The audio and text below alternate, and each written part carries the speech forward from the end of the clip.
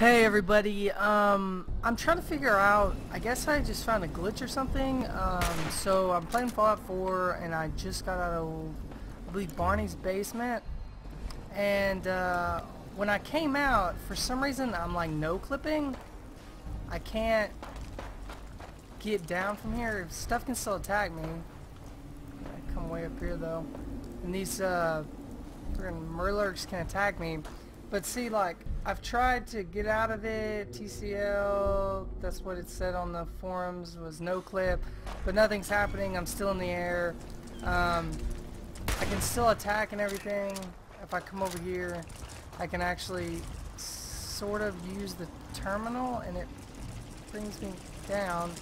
Make, it brings me down, but as soon as I exit, you know, I can just walk through walls still.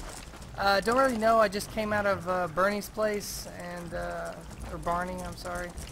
Uh, came out of his place and now I'm just kind of no clipping. Can't really figure out how to fix it. If I stand here, maybe I can get one to attack me.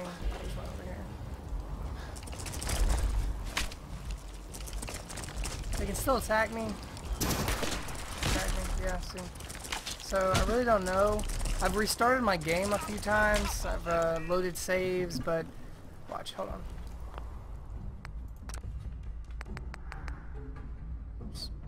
Not what I meant to do.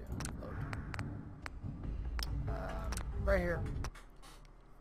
And I also had this weird glitch where when I got up here, it told me to kill the three Mirelurks and he was dead. So I had to actually resurrect him to do the quest. See, still the same.